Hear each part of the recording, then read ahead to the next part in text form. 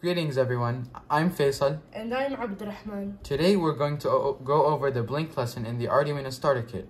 For those who are new to Arduino, Arduino is a company that manufactures microcontrollers such as this one right, right over here. They also manufacture microcontroller kits and design software.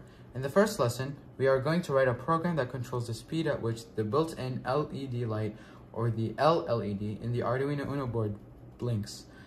There is no wiring required in this lesson. We solely need to connect the Arduino Uno board to the USB cable that, be, that will be connected to the computer.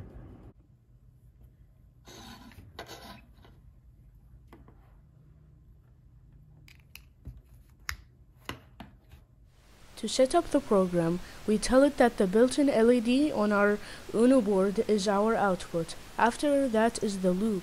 In it, we tell the program to turn on the LED will be on for 1000 milliseconds or 1 second, then will turn off. It will stay off for 1000 milliseconds, then it will redo the loop infinitely. As you can see, the LED light here is blinking on and off. Let's change the speed at which the LED blinks to become faster. How about we put 500 milliseconds, which makes it twice as fast.